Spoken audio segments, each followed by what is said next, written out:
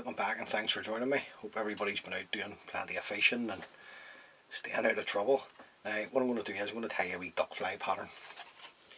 That's the wee, bring the camera, that's the wee, the wee pattern here. Now it's a good wee fly this, especially if you fish uh, the likes of Loch Earn um, or any of the, the Irish lochs.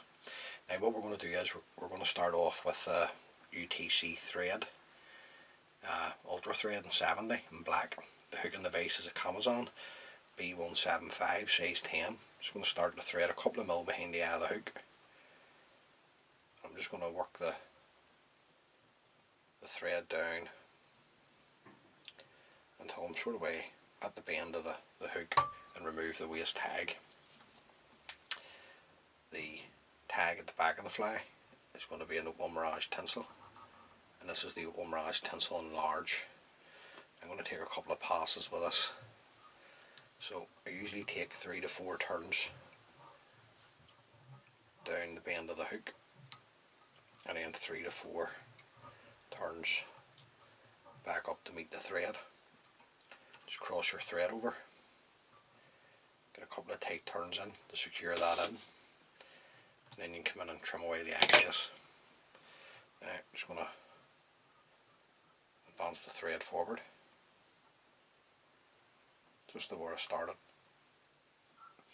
The rib on the fly is going to be a, an ultra wire in silver and small. So I'm just got to length this off.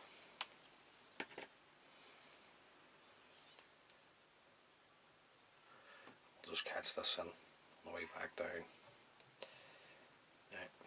The reason why I'm using a UTC thread for the body it just makes the the tang over a wee bit quicker and if you don't have uh, a black floss it's always handy to have the, the UTC thread in your kit. Now just going to work the thread back up then I'm going to come up with 5 to 6 turns of the silver wire following this around. Nice tight turns to catch in the wire now, just to help protect the body. And then bend and break away the wire. Bring my thread back down, just to where we finished the rib. Now at this point I'm just going to put on a very small amount, a very sparse amount of uh, red SLF, just as a wee throat just a wee highlight. Now if you don't want to, or you don't have or want to use the SLF just use um, holographic red tinsel something like that or olive. It's, this wee fly is good tied as a, with olive as the wee highlight. Uh, just whip finished off the UTC thread. I'm just coming in with the weenie 80 to finish off. And the reason why I'm doing that is the it's a rounder th thread. And I just like to finish with a rounder thread. I'm just going to come in and bring out some of the the red SLF just into the wee dressing. Now the wing, you need a right a left, okay, and this is just duckquill that has been bleached. So, let's get my dubbing needle, just come in, and all you're looking, just see if I can do this on camera, it's just slips. Don't go too wide. Just small slips. And if you do go wide don't worry. You can always reduce. But you're just looking a couple of small slips. And see once you get into tan these you'll get into the rhythm of knowing the, the breadth of the the slip that you want and need.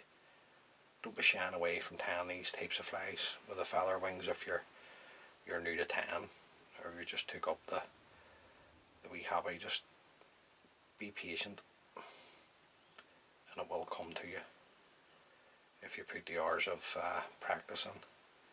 Now, just got my two slips. I'm just getting them, want them to sit right for me here, so just taking my time. Now, I just want the tips just to come under the band. You can have it shorter, you can have it there and have it really like a smallish bar swing, that's up to you. It's the way you like to dress them and face them. I'm just going to come around and just hold the wings, then just come around with a pinch and loop and a couple of tight turns, slide the fingers back just to see what way we're sitting. Now, nothing set in stone, you can always take them, take it off, just want to have a wee check just to see. Yeah, that's good enough for a fishing fly. Now you just come in, just grab the, the ends, trim those away. Just come in gently hold your wing and then bring your thread down over the cut ends and then back up. Now, don't get too hung up on this wing guys. You know, once you start casting this, it, it's it's going to go out of shape. So I'm going to put a wee hackle on the front. And this is just a wee cheap Indian uh, hand cape.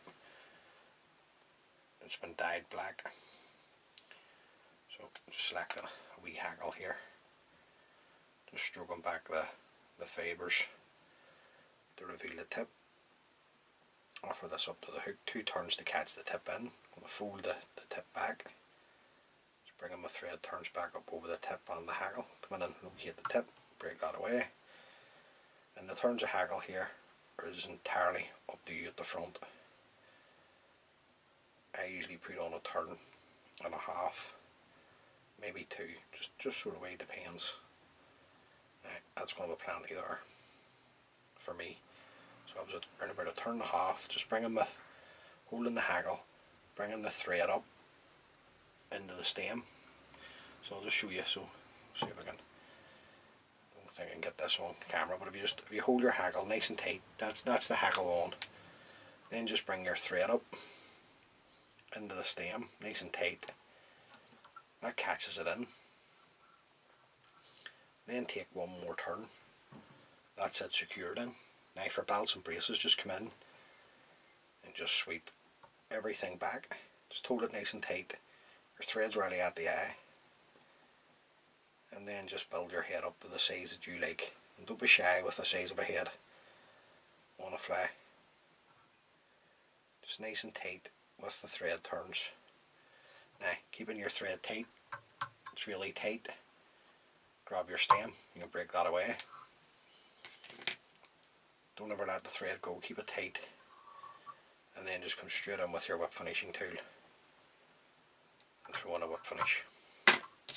That's your wee fly complete. Now, just going to hold the wing just to bring out the, the hackles, just to let you see it. But it will go of shape, there, of that there's no doubt. Now, just going to come in with a wee drop of super glue. Just at the head just as the first coat just do this the whole way right round just taking care not to touch the but there you go guys. That's just a wee duck fly pattern. And that's nothing to it. And like I say there's some guys that'll probably watch the channel that are probably better at me than tan flies. But if you're new to fly tan don't shy away from tan feathered wings. They're once you get into the swing of it, you know, you'll be able to tell the the crack size and measurement, the slips that you need. And if you just go, if you go too much and it's too broad, just put them down your table, measure them up, and take a couple of fibres away. So look guys, hopefully you have got something from that. Um, hope everybody's having a, a cracking start to the 2022 fishing season. Um, so as always, many thanks for taking the time to view the video. I really appreciate it. If you like the wee videos that I'm putting together and you're maybe new to the channel, new to seeing the videos, please consider subscribing. And until next time guys, please stay safe and tail lines.